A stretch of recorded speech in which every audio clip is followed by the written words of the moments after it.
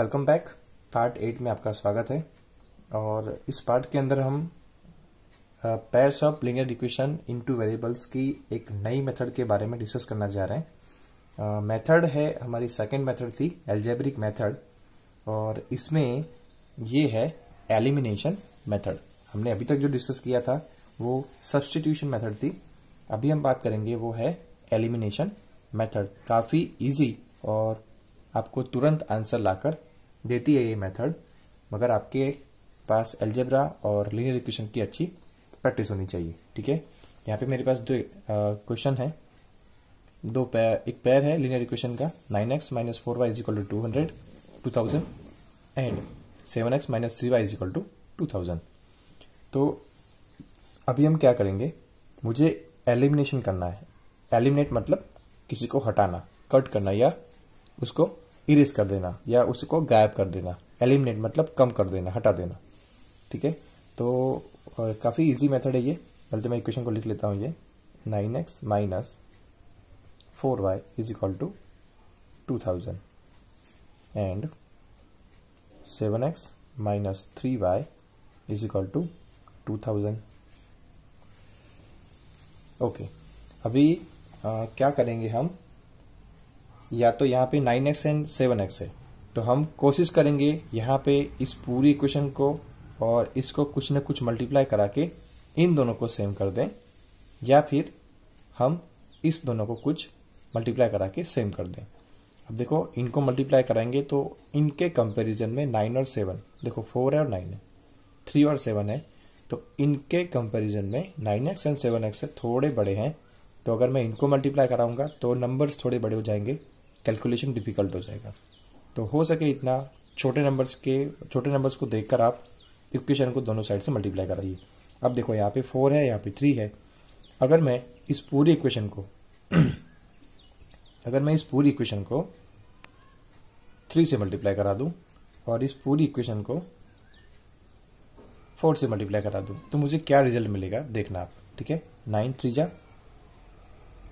twenty seven x minus twelve y is equal to two thousand sorry three two जा six हो जाएगा।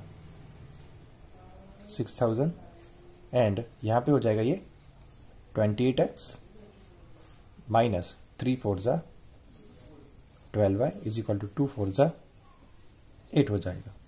Eight thousand हो गया। अब देखो आप, देखो, मैंने मल्टीप्लाई करने से यहाँ पे y के जो कॉपिशेंट्स हैं, ठीक है, उनको मैंने क्या कर दिया? इक्वल कर दिया। अभी हम क्या करेंगे? वैसे आप चाहो तो एक्स को भी इक्वल कर सकते थे। नो प्रॉब्लम अब मैं बाहर से माइनस करा रहा हूँ, क्योंकि एलिमिनेट का मतलब ही होता है माइनस कराना, कम करना या हटा देना।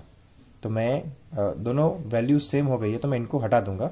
अब मैंने बाहर से माइनस करवाया। ये प्लस में था माइनस में हो जाएगा। ये माइनस में था प्लस में हो जाएगा। ठीक है? तो 28 27 माइनस ट्वेंटी ये आ जाएगा माइनस वन एक्स।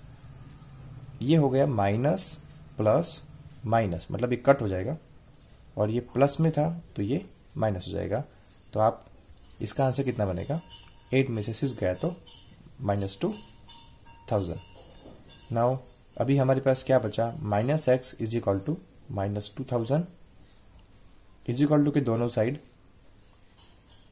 ये वैल्यू है तो कट हो जाएगा। ये आ गया एक्स का वैल्यू इक्वेशन वन दे दीजिए आप। आप चाहिए तो अभी इक्वेशन वन को आप इसमें या इसमें रख सकते हो, आपको तुरंत आंसर मिल जाएगा। मुझे इसके कंपेरिजन में ये इक्वेशन छोटी लग रही है तो मैं seven x minus three y is equal to two thousand इसमें मैं एक्स की वैल्यू रख रहा हूँ।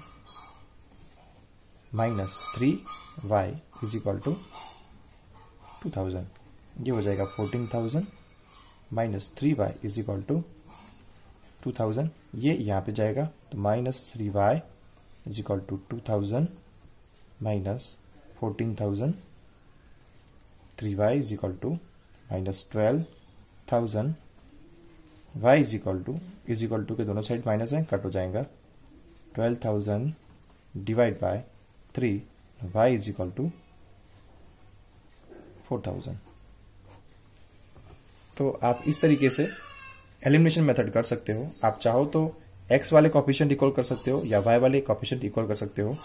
आपको इक्वेशन के दोनों साइड आपको मल्टीप्लाई करा के आप कोई ना कोई वैल्यू यहाँ पे मल्टीप्लाई कर सकते हो, जिसकी वजह से आपके पास ऐसी दो नई इक्वेशन बन जाएगी। आप उसको बाहर से माइनस करा दीजिए। माइनस करने पे दोनों की वैल्यू यहाँ पे प्लस तो माइनस माइनस तो प्लस माइनस है तो प्लस हो गया प्लस है तो माइनस हो गया। फिर आप इसके, इस तरीके से उसको हटाकर एलिमिनेट करके एक्स और वाई की वैल्यू ला सकते हो। मिलते हैं नए पार्ट के अंदर, नए टॉपिक के साथ। तब तक के लिए थैंक यू सो मच